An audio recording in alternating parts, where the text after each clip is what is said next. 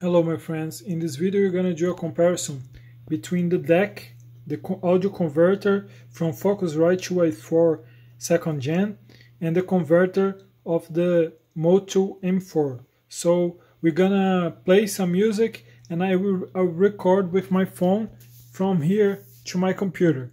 I'm using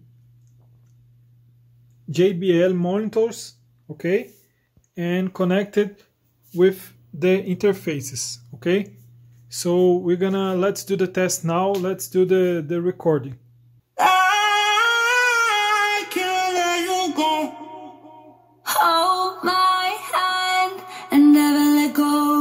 Never let go. Hold my hand and save your soul, save your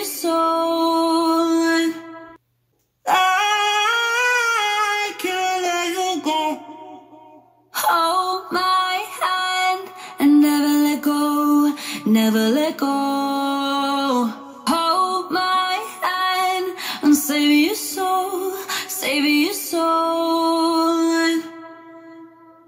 I know it's not